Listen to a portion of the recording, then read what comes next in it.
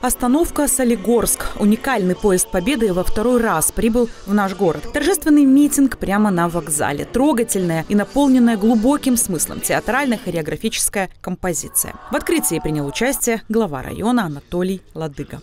На протяжении двух лет у нас был первый заезд поезда Победы. Сегодня мы встречаем второй раз.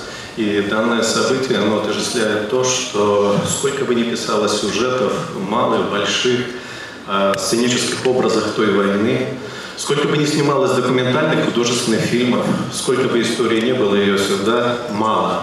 И новый виток в нашей истории, нашей независимой Беларуси, это поезд победы, к которому можно прикоснуться каждому и мысленно преобразиться в то время, которое сегодня отождествляет мирное, настоящее и уверенно смотрит в будущее, которое тоже хотелось бы сохранить для наших детей и потомков. В Республике Беларусь в 2024 году проект реализуется по инициативе Белорусской железной дороги совместно с российскими железными дорогами в рамках мероприятий, приуроченных 80-летию освобождения Республики Беларусь от немецко-фашистских захватчиков. Он осуществляется при поддержке администрации президента Республики Беларусь и активном содействии Республиканского волонтерского центра. Музей на колесах, созданный в 2020 году, это первая в мире иммерсивная инсталляция, размещенная в движущемся составе поезда. Это действительно уникальный поезд. Он позволяет нашим посетителям буквально за 40 минут пройти все четыре тяжелые года войны от начала и до конца и посмотреть, как тяжело ковалась победа.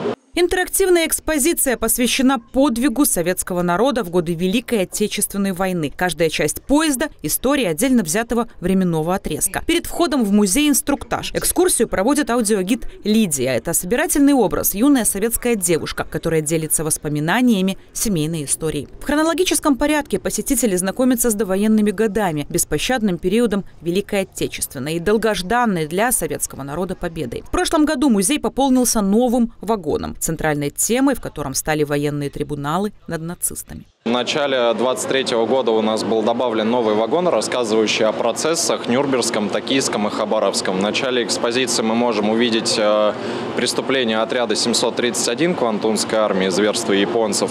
А в последующей части вагона видим элемент Нюрнбергского процесса э, суда над нацистами. Вагон под названием «Концлагерь». Здесь будто замирает время. Лица людей, их мимика в точности переданы мастерами. Санитарный вагон на каждую медсестру приходилось по 165 раненых. Вгруженный рейс практически не спали. Каждое утро обход врача, перевязки, кормление.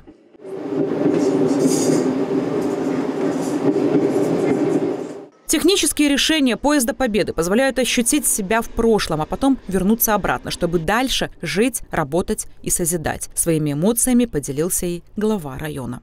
Я впервые, посещая поезд Победы, для себя как бы уловил то, что, выйдя из вагона, все пару минут просто были в молчании, пропуская через себя всю эмоциональность, ту, которую потом, наверное, уже мы будем делиться через время, смотреть фотографии, кто делал фотографии, снимал сюжеты. Поэтому все это надо ценить, ценить тот мир, который нашими предками э, подарен мирное время, которое мы сейчас имеем. Конечно же, э, хотелось бы, чтобы больше солигарчан, гостей видели это. И поезд Победы, который сегодня курсирует по территории Республики Беларусь, по городам планово, чтобы они действительно готовили большое количество детей, которые могли бы пропустить через себя все это.